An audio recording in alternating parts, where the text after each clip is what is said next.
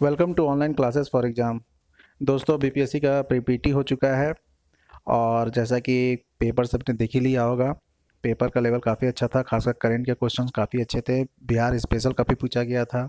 History का portion आसान था कुछ। और जैसा कि सबको पता है कि सीट इस बार काफ़ी कम है। तो जो एक्सपेक्टेड कट ऑफ़ है, पिछली बार से कम तो नहीं जाएगी, इतना तो मान कर चलें। तो या फिर पिछले बार जैसा रहेगी या फिर उससे एक दो नंबर ज़्यादा। तो आइए हम लोग कुछ एक्सपेक्टेड कट ऑफ़ देख ले क्या है, इसी के राउंड होना चाहिए। बाकी बी पी एस सी का आंसर किया आएगा तो उसके बाद एक्यूरेट पता चलता है कि आखिर क्या, कितना जा रहा है।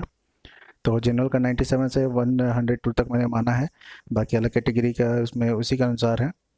तो यही कट ऑफ़ है दोस्तों।